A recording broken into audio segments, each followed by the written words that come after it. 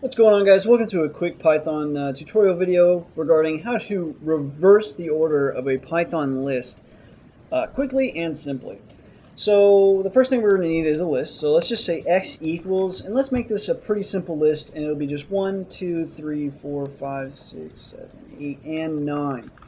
And now what we want to do is reverse it. So we can do y equals reversed uh, x.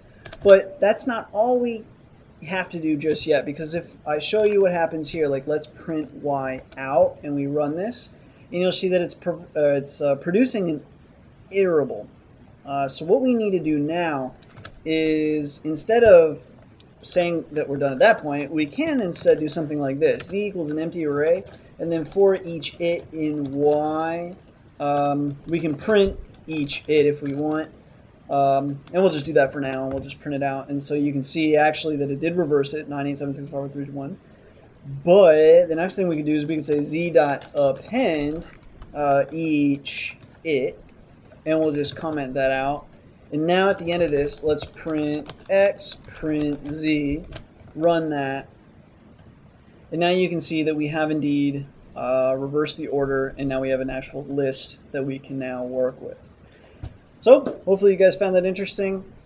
Hopefully you learned something new. As always, thanks for watching, thanks for the support and the subscriptions, and until next time.